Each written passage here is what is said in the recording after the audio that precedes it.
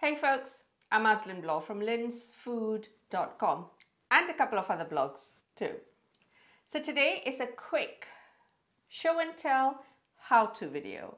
We're going to talk about one of my favorite ingredients ever, dried shrimp or udang kering in Malay and Indonesian.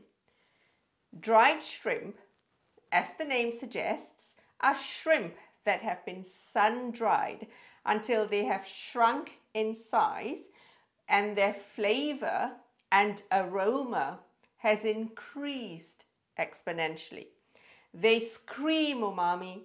They, they have a very strong aroma and flavor of the sea.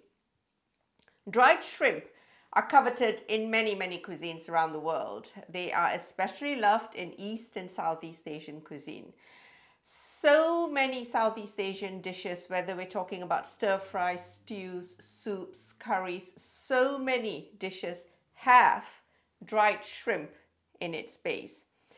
This is one of the reasons why many Indonesian and Malay and even Thai vegetarian or vegetable dishes are not really vegetarian because even the most innocuous stir fry, vegetable stir fry or vegetable soup has at its base a combination of dried shrimp and shrimp paste or one or the other. So now you know.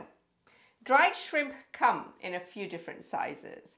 The bigger the size, the higher the grade. But that really is, isn't an indication of the quality of the shrimp, but more of how we're going to use it. Where do you buy dried shrimp from? Besides online, you'll find them in East Asian and Southeast Asian stores. More often than not, you will find them in the freezer section of these stores. They come in packets that look like this. These are the ones that I use for practically all of my recipes that call for dried shrimp. These are the really, really tiny ones. So they will look something like this. I'll give you the link in the notes to an Amazon, to Amazon where you can purchase them for yourself. There'll be affiliate links.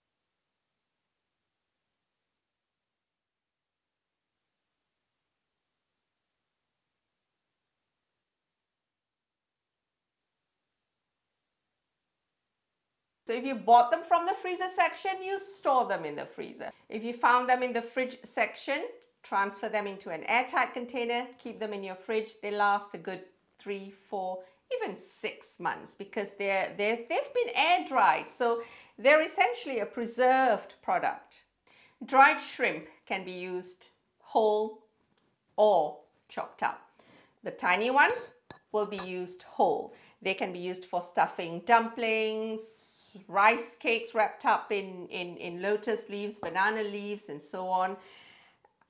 Or, in my case, I love using these when making Chinese chili oil. You would have seen me doing it in a couple of shows ago with Jianji. I'll leave the link in the notes and perhaps even there.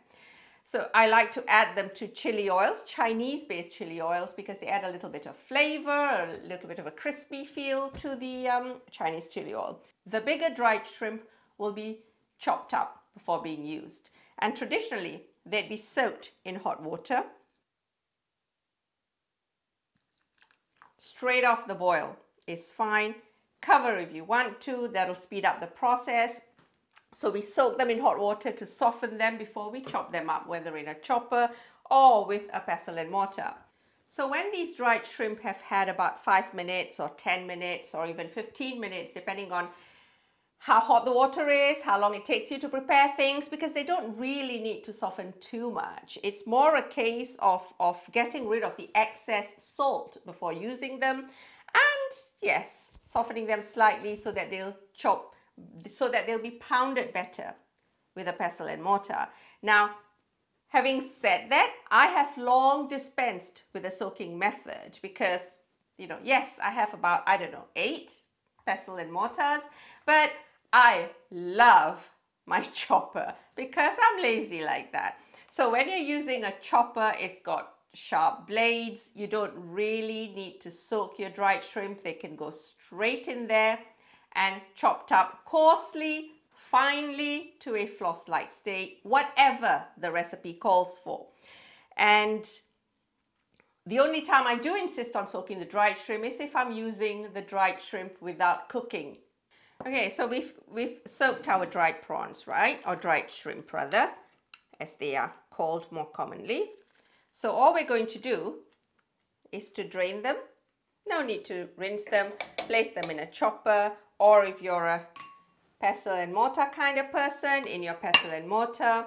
And then all we're going to do again, like I said, depending on the recipe itself, quite often in my chopper now, say, say if I'm going to be making laksa and I'm making the laksa paste from scratch because you always make laksa paste from scratch, otherwise it's not the real thing. So you place your dried shrimp in the chopper along with your onion, garlic, ginger, galangal, whatever your recipe calls for, okay? And you chop away if you want, want your spice paste, fine. If you're going for a coarse dried shrimp, then we pulse it until you get to the desired state, whatever your recipe calls for.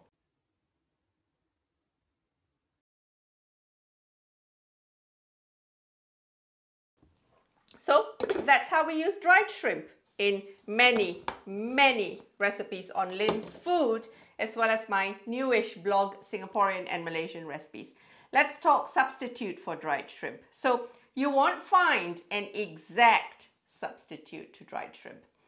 Shrimp paste makes a fairly good substitute, but it's so much stronger in flavor and aroma than your dried shrimp. So we tend to use half the amount that the recipe calls for. Now, as far as the whole fishy, umami, salty flavor is concerned, you can use fish sauce. It, it makes an acceptable substitute for dried shrimp. It is still missing that sweetness that you get from shrimp. As far as the amount goes, if you're using fish sauce as a substitute for dried shrimp, bearing in mind that it's not a perfect substitute, if your recipe calls for one tablespoon of dried shrimp, you use one tablespoon of fish sauce soy sauce is not a substitute for dried shrimp. It's, it's, it's just salt.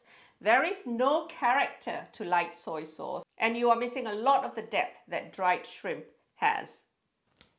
Now, vegetarian substitute for dried shrimp or udang kering. If you've taken my Udemy cooking classes, you'll know that my go-to umami ingredient is essentially shiitake, shiitake mushrooms. Use about five shiitake, to one tablespoon of dried shrimp. Now, one pretty good substitute for dried shrimp is the Japanese katsuobushi, dried bonito flakes, dried tuna flakes. It's bursting with that salty, sweet umami notes and to me, perfect substitute for dried shrimp. So, dried shrimp recipes, lots and lots and lots of recipes on Lin's Food and SMR that use dried shrimp as in the paste ingredients. I'll give you the link to some recipes in the notes just so you can find your way there. I believe I have a very, very old uh, video here showing you how to make laksa the way my mom made it. Now that has got dried shrimp in there as well. So there you go, how to use dried shrimp in your kitchen.